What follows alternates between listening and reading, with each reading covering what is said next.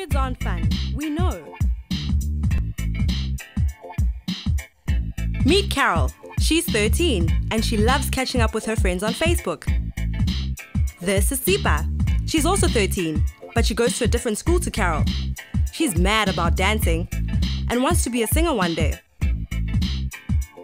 Michelle is 17 and is captain of the swimming team at her school. Her favorite food is cupcakes. That's if you want to call that food. We are women, and we are all unique in our own special way. That's what makes us awesome. But it also means that because we are women, at some stage in our lives, we all experience a period for the first time. So it really is nothing to stress about. It happens to all women. We all go through it. You're not alone.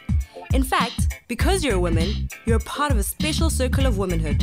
We are women, and we get it. Let's start at the beginning with puberty. Some girls start puberty as early as 8, others 13, and some even later. The age you start is influenced by a number of different things your weight, your general health, and your genetic makeup. Puberty is a time in your life when your body starts changing. Your brain sends little messages to all the different parts of your body, telling them to release hormones.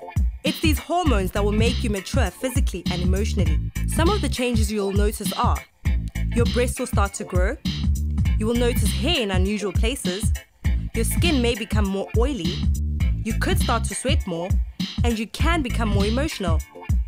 Not everyone goes through the same changes during puberty, but the main change you will notice is that you will start to have your period. It seems scary, doesn't it? But it doesn't have to be.